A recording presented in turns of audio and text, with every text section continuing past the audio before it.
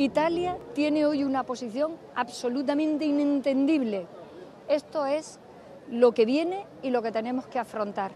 Hace mucha falta que la ciudadanía, las instituciones y desde luego la democracia se defienda del radicalismo de la ultraderecha, como estamos viendo en una situación completamente lamentable. Pero repito, España es un país que no tiene sus puertos cerrados a la ayuda humanitaria, que los tiene abiertos cada noche y cada día en el estrecho.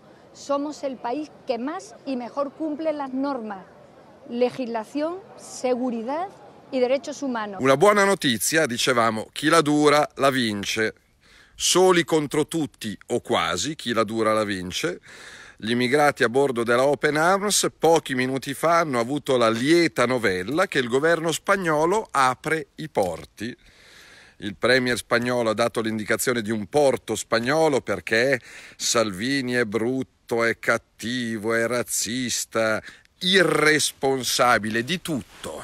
Mire, es que Italia se está saltando las leyes, efectivamente.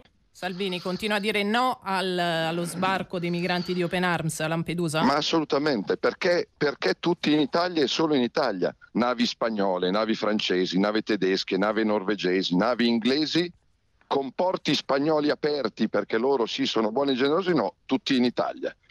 Eh, buoni sì, caritatevoli e cristiani sì, ma fessi no. Yo creo que Salvini está poniendo de relieve el que está haciendo una política exclusivamente xenófoba, al margen de la Unión Europea, con unos comportamientos absolutamente contrarios a lo que tienen que ser las mínimas normas de derecho internacional, de derecho comunitario europeo y de derecho del mar. Y francamente para España, el que la operación Sofía, pues eh, podamos decirlo con una cierta claridad, haya fracasado, eh, ha supuesto un, un fallo importante y un fallo importante y en ese sentido creo que eh, la culpa fundamental la ha tenido Salvini.